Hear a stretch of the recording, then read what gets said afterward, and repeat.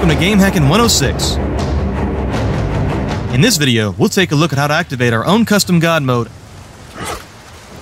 and a custom Nightmare mode in Nioh the Complete Edition without taking our eyes off the action in the game. Now, this is the sixth video in the Game Hacking 100 series, so if you're new to using Cheat Engine to make your own game cheats and hacks, be sure to watch the videos in green before this one because things will make a lot more sense that way. You can find the link to the full series to the top of this video and in the description below.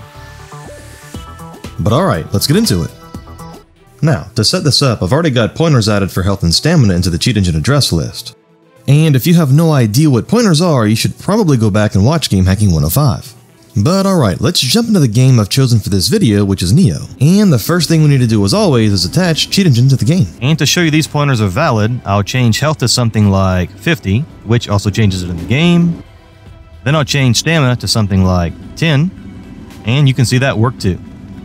Alright, I'll pause the game with my cheat engine hotkey so we can focus on this mess in the address list, which I just have to clean up before we continue. So I'll drag the cheat engine window down to give us a bit more room to work with here. That looks good. Now, first thing, I haven't played through the whole game with these pointers, so I'm not absolutely sure yet if any of these will be valid from start to finish.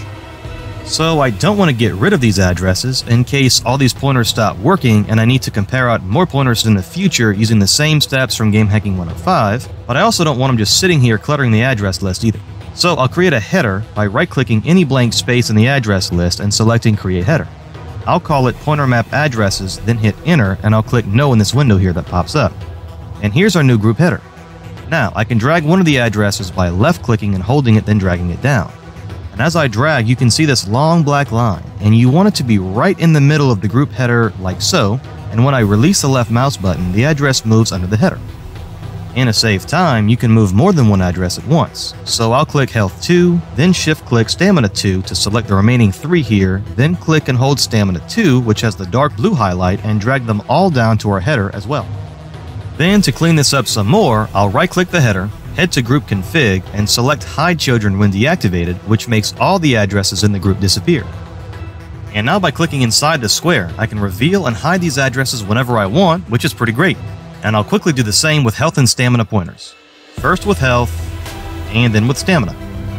And then I'll change both to hide the pointers unless activated, and there we go. And we actually could stop here, but since I'm a bit OCD, I'll go ahead and move the pointer map group to the bottom and I'll change the color by right clicking it then selecting change color. And I think I'll make it a light gray, then click OK, which will make it even more out of sight and out of mind unless I actually need it. And to go the extra mile, I'll change the color of the health header to red and change the pointers to dark red. And then I'll change the stamina header to green and the pointers to dark green. Alright, now this is looking pretty good. So now, let's make better use of these pointers with hotkeys. You can do this in many different ways, but I'm going to make it to where we can use a hotkey to give us unlimited health and stamina for a simple God mode, and I think I'll also make a down and dirty nightmare mode. And to do this, I'll right click on one of the health pointers, I'll just choose the top one, and then I'll head to set hotkeys, then come down and click create hotkey. And there are several actions here in this drop down box. The default is toggle freeze, which allows you to use the same hotkey to toggle the cheat activation on and off, and in the case of pointers, which is what we're dealing with right now, this will effectively allow you to freeze and unfreeze the value with one key. But in this example, I'll instead be using two others, freeze and set value to, which I'll select first. I'll type in a high number, like 9999, and then I'll type in Alt-G on my keyboard in this white box here to assign the hotkey to Alt-G. Now, once I click apply, I'll be able to mash Alt-G to instantly make my HP the value I typed in. And I'll go ahead and repeat the same steps using the same hotkey, but this time I'll choose freeze in the dropdown, and I'll click this box below activate sound and select activate, so I'll have an audio indicator when I activate this.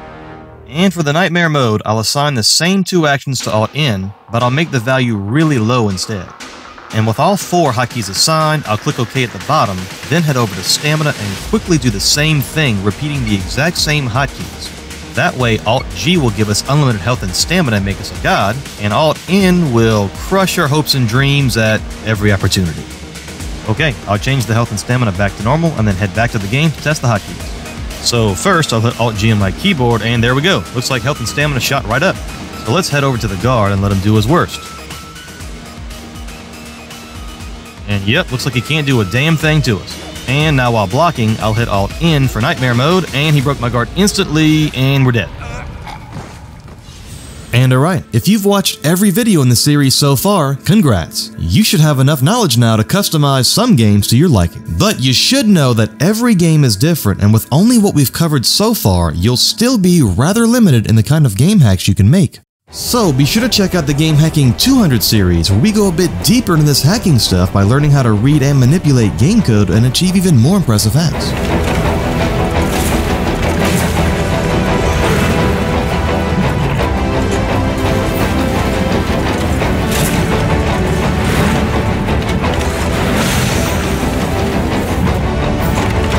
And to make sure you don't miss out on any of the videos, be sure to subscribe and turn on YouTube notifications. And as always, thanks for watching. We'll see you again real soon.